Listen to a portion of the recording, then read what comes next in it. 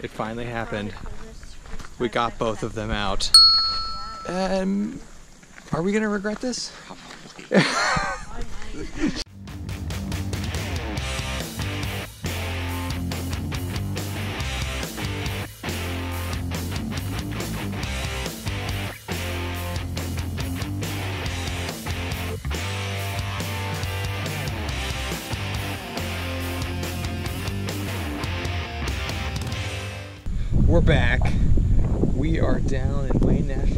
At one of our favorite spots, Lake Vesuvius. And today's trip is a unique one. We're doing something we've never done, and that is bringing both of our wives with us. So hopefully it's fun. Uh, hopefully they have a good time.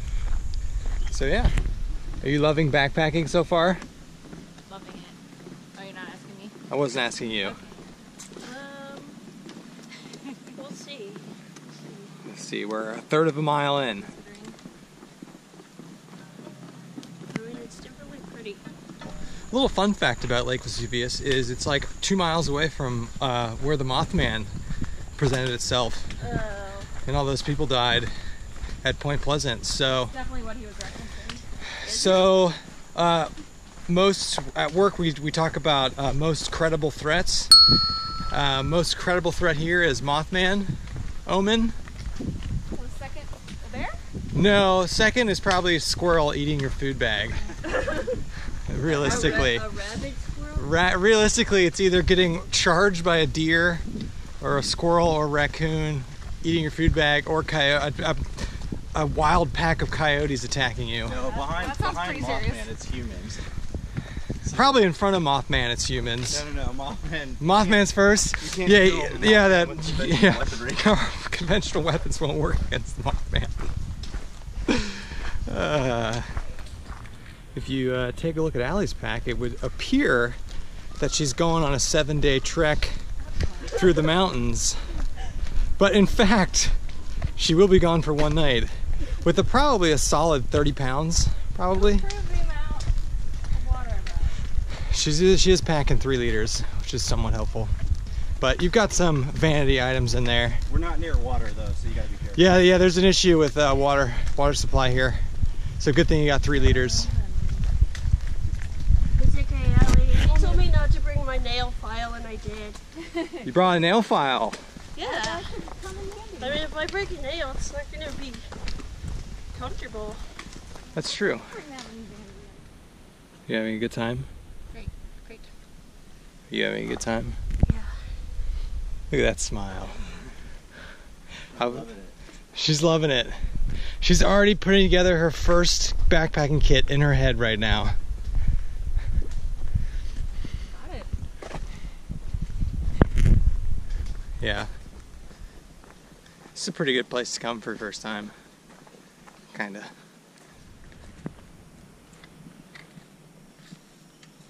this the one where you get your feet wet? No.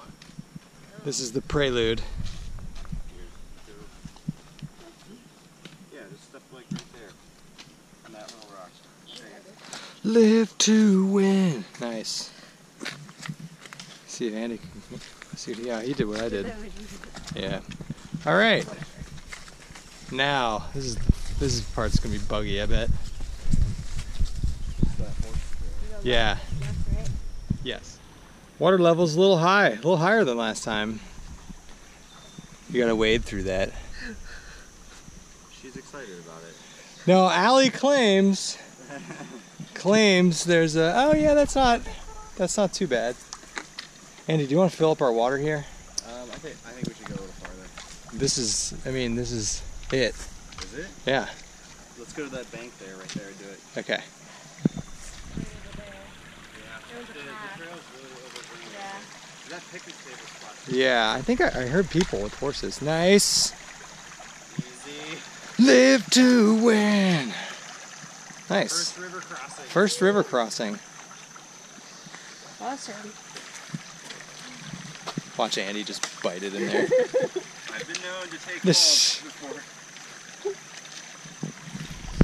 I did use this opportunity to clean off my clothes. There you go. The bright side right there. And we're going to uh, fill up on water right now. So we're about a little less than two miles away. Right here looks good. Yeah. Do I even have to drink that water? Yes, you do have to drink the water. Yes. It tastes good though. It's filtered. Vesuvius is a lot different in the summer.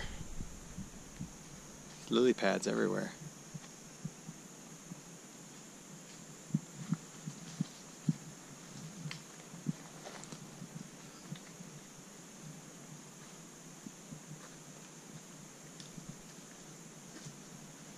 Almost there, I think. Yeah, probably like another mile. Less than that. We're at 4.40 miles. Ah. But I started a little late. We're at just over five. Oh. Jeez, But it's a little bit more overgrown than it was last time we were here. You have to set your hammocks up back there. Sure? Where else do you want to go? Right. It's fine. See this little, see this little trail? And that little trail? It's a lot more overgrown. We made it. It's a little bit more overgrown than last time. It's not bad though. Proud hammock husband. She set this up all by herself which never happens ever. Not even a single question. And that's a new under that she's never used that underquilt before. Although you you're not done yet. Did I do it right? What do you mean? Um, is your is your head going here? My head's going here. Then you gotta What do you mean? flip the underquilt around. Oh, there's a There's a head end. See that the logo on the underquilt Oh, indicates okay. the head end. okay. Just put your head there. Well, I think then I'd have to. Oh, Your your head would just be there. Your head. You want your head here or your head there? it was gonna be. No, it's gonna be here. It's gonna be there. Shh. I know this. No, I want my head there. I'm okay, gonna- then I'm you gotta flip it. this around. See this logo right here? Yeah. That's where your head is. under- I don't know if it matters, to be honest with you. On my underquilt, it certainly does. No, on my new one. Oh, that burnt orange you can see from just miles away. Andy's got a nice hang. I mean, it's uh, he's on trees that are probably a solid 22, 23 feet apart. So it's kind of wonky, but I got a nice hang here, man. With a great, I set it up so I got a great view of the lake out in the morning. Beautiful.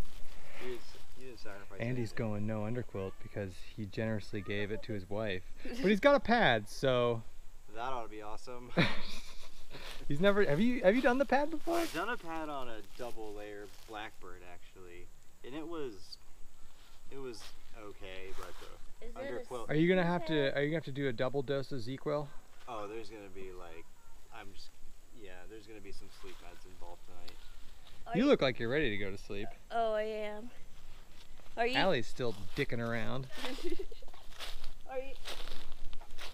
I've been set up forever now. Looks pretty good with that. Just needs a a tarp. It just needs a tarp. So we got Allie a new tarp slash I got a winter tarp, but I got her winter a tarp that I could use in the winter. So it's a uh, Underground Quilts Winter Dream tarp. It's really nice, but we're too lazy to set it up, so it's probably gonna have to wait till next time. And there's a zero percent chance of rain, so we're not too concerned. All right, what were your favorite parts of the day? Get in here. This sitting. Uh, don't you feel so blessed you get to join your husbands in their hobbies? Hashtag blessed. So blessed. Could be sitting on the couch, cuddling up with the kitties. We didn't like I ask you to come. No. Watching TV, laying in a bed. this is great. For your first time backpacking, this is pretty good. Yeah, Good weather. I I expected it to be extremely flat.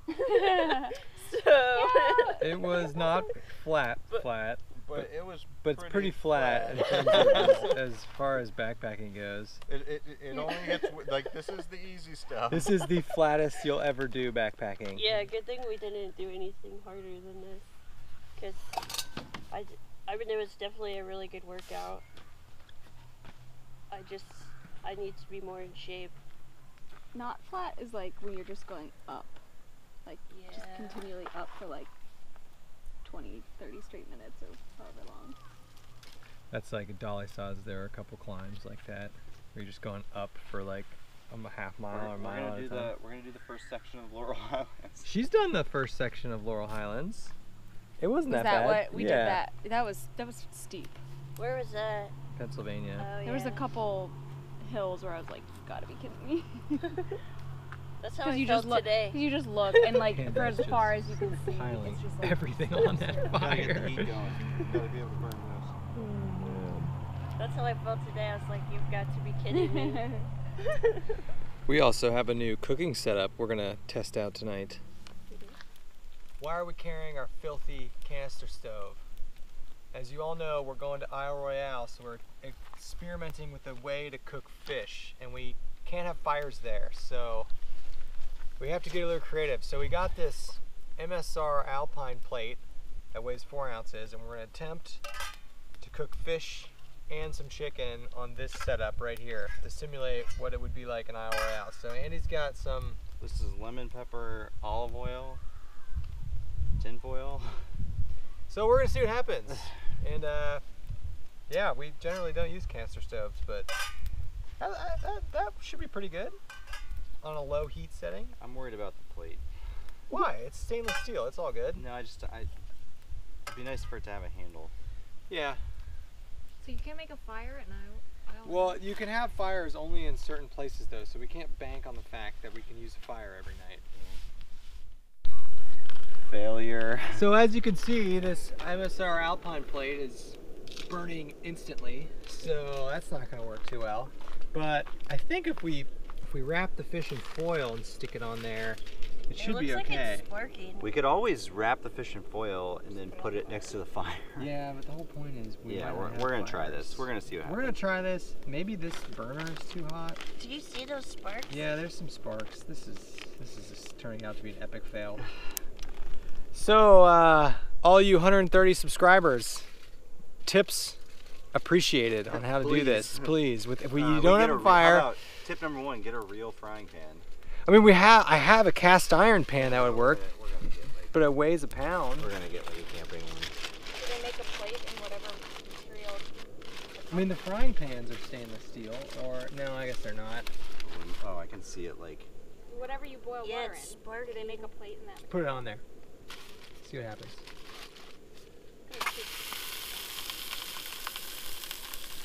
It'll work. Is it good? All right, so success. Man, that lemon pepper is good. Pretty good. Look at that. And the uh, we're checking the damage.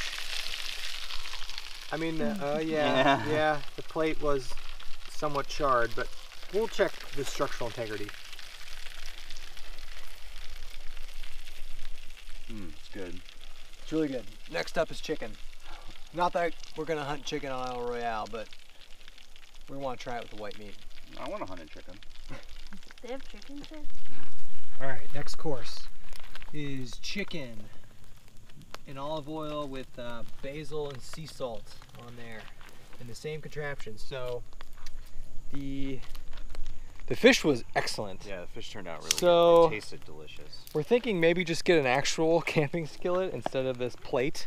But the plate is holding up, and we will check the structural integrity of the plate after this. But I think the plate might survive. It's just horribly burned.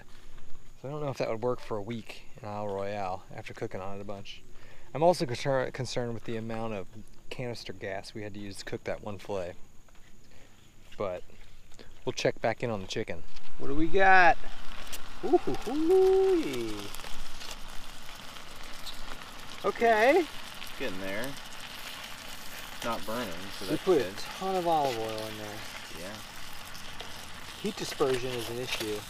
These little pieces are done now. All right, so I think the moral of the story is I know. Oh, hold on. Let's. I mean, it's still alive. Here, eat some of these little pieces. They're done. So the the frying experiment was half success. It was like 75% success. The food turned out good. We just burned the crap out of that alpine plate, and Andy got pooped on by a bird. So I guess it was more like 50% success. Is it good? All right, so for dinner tonight, everyone had a different rendition of Easy Mac.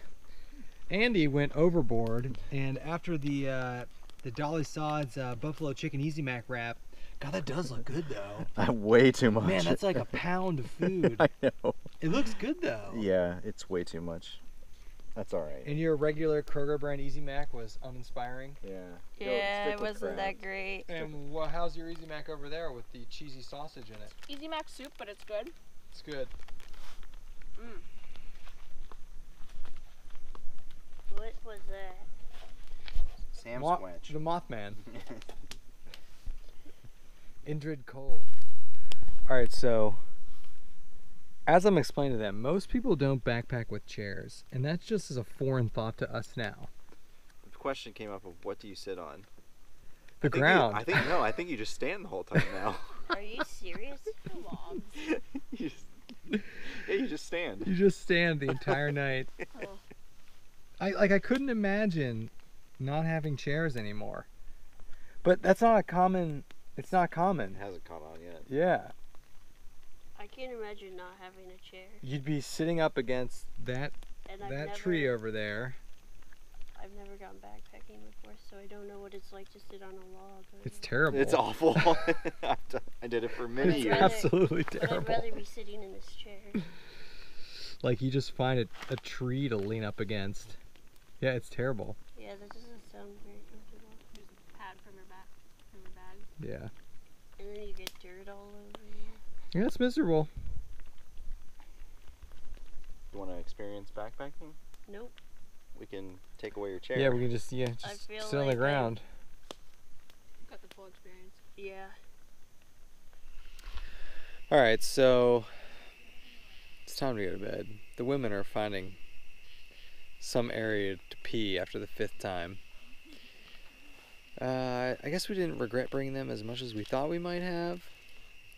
They're surprisingly doing well, but it, it is uh, it's best case backpacking conditions right now. And like it's it's in the low 60s, high 50s. Like it's not windy. It's it's nice. We have a nice fire. but we can't go anywhere else because they consider this hilly. They consider Vesuvius hilly, and that's like an average of like a hundred feet of elevation per mile. Guess we're gonna be backpacking here a lot. so uh, it's definitely I can't think of a flatter place in Ohio. Wildcat Hollow is pretty flat, but anyway, we're hitting the hitting the hay here. Pretty good night. We'll see you in the morning. Good morning. Another good night's sleep in the hammock. Great night. It's in the mid 50s now, so perfect. Let's check in on the women. How was it? Cold. Really? Yeah. Did it move around on you? No, not really. Pretty hard to side sleep on it. But the Costco. You were quilt- snoring. You were snoring. Yeah, I know. I slept. I'm not doing to deny I didn't sleep. How did you sleep? I slept really well. First night in the hammock. Yeah. I just I woke up at two in the morning and had to go to the bathroom. I heard. I I I heard that. Yeah. Nice. Costco quilt can't handle these temperatures. Yeah, it's a little. It's a little bit on the cold side for the Costco quilt. I'm I'm cold too. Really? Yeah. Yeah, I wonder why. You're zipped into a 30 degree sleeping bag with a fully cinched up 20 degree underquilt and it's in the 50s. I don't And you have a down jacket on. I don't know that I slept flat in the hammock, but it was still really comfortable. we have forgotten how loud these freaking canister stoves are. Man, that is loud. So as high as it is it on high? Yeah, it's on high. It's freaking loud. Time for the annual coffee extravaganza. We have many different kinds. And you get some granola. And how are we gonna cook these Jimmy Dean breakfast sausages? I could cook them. I could just stick them on a on a stick and cook them over this flame. It's not a terrible idea.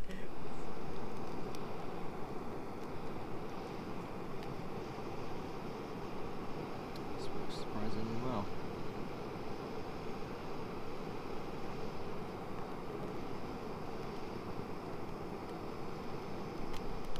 How's the oatmeal? Pretty good. Mystery flavor, but I think it's raisin and something and original mixed together. it's kind of what it tastes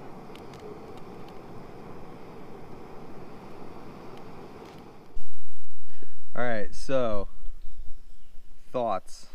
If you had to do this again, what would you do differently?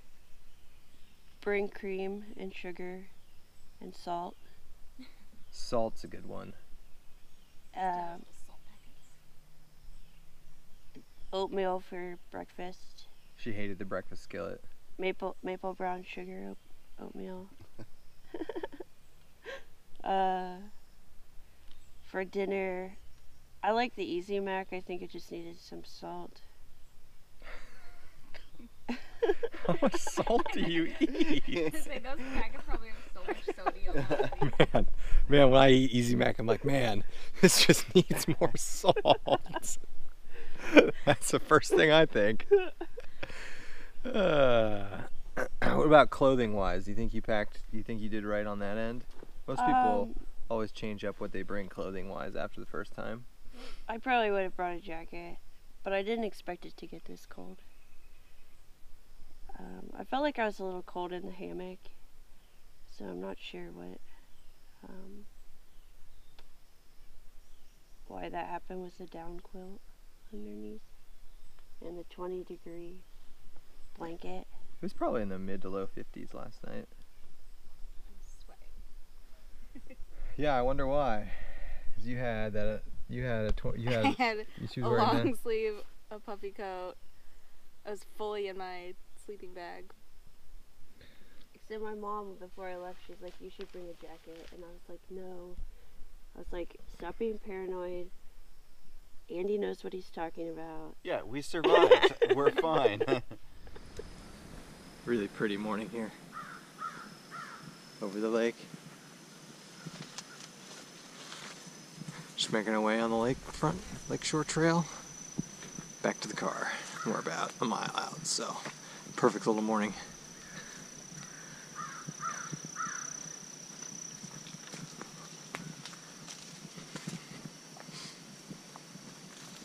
Wow.